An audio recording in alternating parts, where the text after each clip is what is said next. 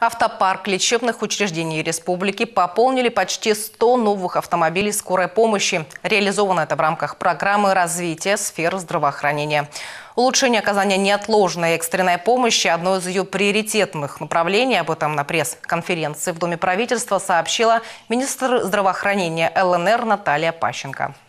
Автопарк обновлен, э, сделан акцент на кадровое обеспечение этого звена – по этой причине вот э, также оказание скорой неотложной экстренной помощи у нас один из приоритетных, одно из приоритетных направлений.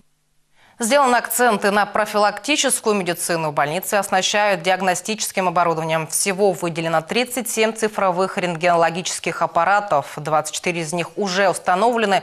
Также в планах заменить флюорографическое и ультразвуковое оборудование порядка 36 единиц ультразвуковых сканеров будет установлено по всей территории республики. Сегодня уже 10 э, аппаратов ультразвуковой диагностики получено нашими учреждениями здравоохранения. Еще одна приоритетная задача – оснащение всех инфекционных коек. Подачи кислорода уже выделены и заложены на следующий период средства на газификацию учреждений здравоохранения. В некоторых работы по улучшению снабжения кислородом уже проведены.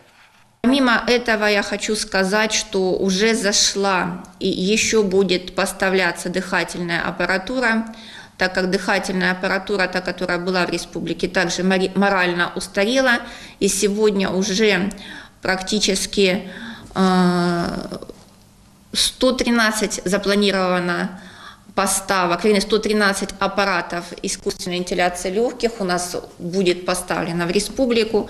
Уже поставлено чуть менее 100 аппаратов. Получать высококвалифицированную помощь смогут не только жители республики, но и те, кто лишен этой возможности на территории Украины. Кроме этого, в республике продолжают развиваться телемедицинские коммуникации. Наши медики регулярно обмениваются опытом и научными наработками со специалистами из России.